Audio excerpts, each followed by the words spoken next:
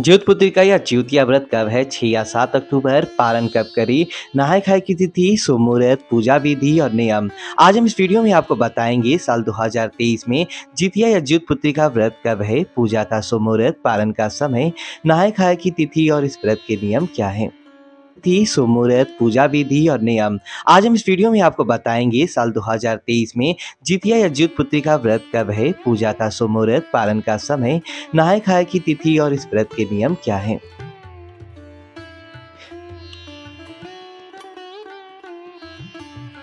ज्योतिया या ज्योत पुत्रिका का व्रत सभी कठिन व्रतों में से एक है। पंचांग के अनुसार यह व्रत अश्विन माह कृष्ण पक्ष की अष्टमी तिथि को रखा जाता है। छठ व्रत की तरह यह भी एक दिन, यानी कि 36 घंटों का होता है। तीसरे दिन नवमी तिथि को व्रत का पालन किया जाता है। जितिया व्रत संतान प्राप्ति, संतान की दीर्घायु और उनकी सुखमय जीवन के लिए रखा जाता है। इस व्रत में छठ की तरह ही नहाय खाए की परंपरा होती है। आइए जानते हैं साल दो में ज्योत पुत्रिका या ज्योतिया व्रत कब है?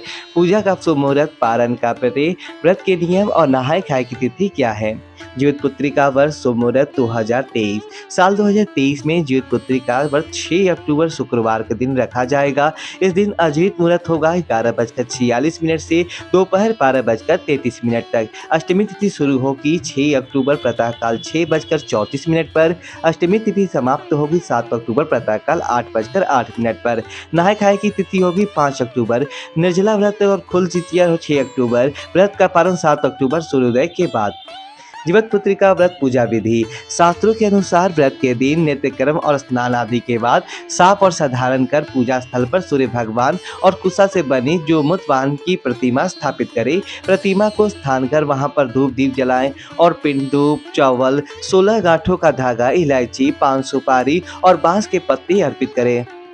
इसके बाद मिठाई का भोग लगाए और व्रत कथा पढ़े और आरती करे। इसके अलावा पूजन के समय मिट्टी और गाय के गोबर से चील और सियान की मूर्ति बनाकर उन्हें लाल सिंदूर लगाए। निर्जला व्रत के अगले दिन नौमी तिथि को व्रत का पारण कर व्रत का समापन करना चाहिए। नहाय खाए कैसे करे? सप्तमी तिथि को नहाय खाए के दिन प्रातःकाल स्नान कर, स्वच्छ वस्त्र धारण कर, विधिवत पूजा करें और इस व्रत में माताओं को सप्तमी तिथि के दिन यानी नहाय खाए के दिन सूर्यास्त से पहले खाना और जल ग्रहण कर शुरुआत करनी चाहिए। नहाय खाए के दिन एक ही समय भोजन करने की मान्यता है। ज्योतिया व्रत का पालन कब किया जाएगा? साल 2023 में ज्योतिया का पालन 7 अक्टूबर शनिवार को किया जाएगा। व्रत के पालन का समय होगा 7 अक्टूबर की सुबह आठ बजकर दस मिनट पर सूर्योदय के बाद। पारण ज्योत पुत्री का व्रत का अंतिम दिन होता है। इस व्रत को निर्जल किया जाता है। व्रत का पालन नौमी तिथि के सुबह सूर्योदय के बाद ही होता है। मान्यता है कि पारण के दिन चावल, बरवा की रोटी और मूली का साग खाना चाहिए। द्वितीय व्रत के नियम। शास्त्रों के अनुसार यह व्रत छत्तीस घंटों यानी तीन दिनों का होता है। व्रती को तीनों दिन लहसुन, प्याज और अन्य तामसिक भोजन का सेवन नहीं करना चाहिए।